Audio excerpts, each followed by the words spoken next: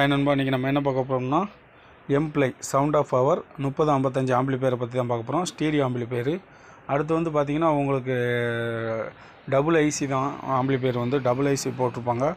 நாலஞ்சு ஊப்பர் வந்து பார்த்திங்கன்னா நாலஞ்சு ஊப்பர் வந்து பார்த்திங்கன்னா எட் நாலு ஸ்பீக்கர் போட்டுக்கலாம். எக்ஸ்ட்ரா ஒரு ஆறு இன்ச்சு ஸ்பீக்கர் நீங்கள் எக்ஸ்டெண்ட் பண்ணால் பண்ணிக்கலாம்.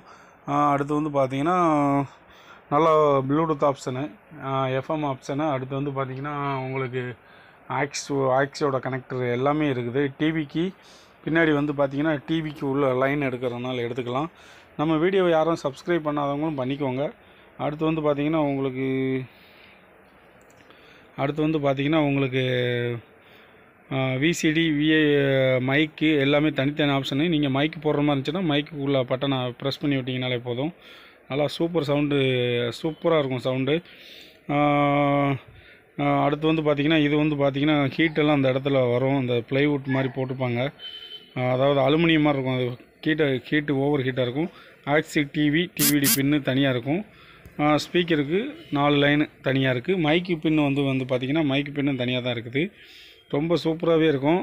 அடுத்து அடுத்த லுக்கையும் பார்த்துக்கோங்க எப்படி இருக்குதுன்னு. மைக்கு கண்ட்ரோலு வால்யூம் கண்ட்ரோல் எல்லாமே இருக்குது பவர் ஆஃப் ஆன் சுவிட்ச் வந்து ஃப்ரண்டில் கொடுத்துருக்காங்க. சில ஆம்பிளிஃபையரில் பேரில் வந்து பார்த்தீங்கன்னா பவர் ஆஃப் பட்டன் வந்து பின்னாடி கொடுத்துருப்பாங்க. இதில் ஃப்ரண்ட்லேயே கொடுத்துருக்காங்க. ஜே எண்பது எம்ப்ளை அந்தந்த ஒவ்வொரு மாடலாக போட்டிருக்காங்க. அடுத்து வந்து பார்த்திங்கன்னா ஒவ்வொரு மூடையும் மாற்றி பார்த்துருவோம் எப்படி இருக்குதுன்னு.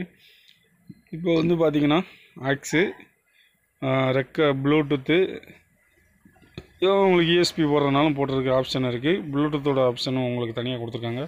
மைக்கு போடுற மாதிரி இருந்துச்சுன்னா அந்த நான் கை வைக்கிறதா மைக்கு உங்கள்கிட்ட மா பின் இருந்துச்சுன்னா மாட்டிக்கலாம். ஓகே பிடிச்சிருந்தா லைக் பண்ணுங்கள் ஷேர் பண்ணுங்கள் மறந்துடாமல் நம்ம சேனலை சப்ஸ்கிரைப் பண்ணிடுங்க வீடியோ பார்த்துக்கு ரொம்ப நன்றி. Okay bye